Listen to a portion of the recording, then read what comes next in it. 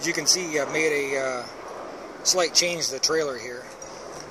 This is a 45 watt 24 volt panel. Inside the trailer there's four heavy SLA batteries. They're 12 volts, 12 amp hours.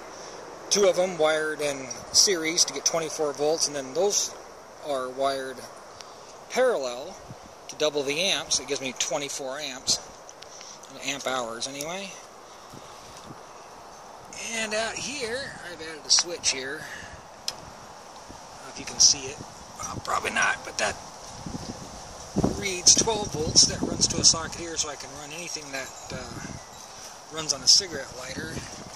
And on this side, see the power there, which runs down here, and that is going to power a 500 watt geared hub motor I just stuck on the bike. If you want to see the electrical spaghetti I've got on the inside, let me get this contraption open here. It's all wired in, fused, charge controller, and this is a uh, DC to DC step-down converter that runs the lighter.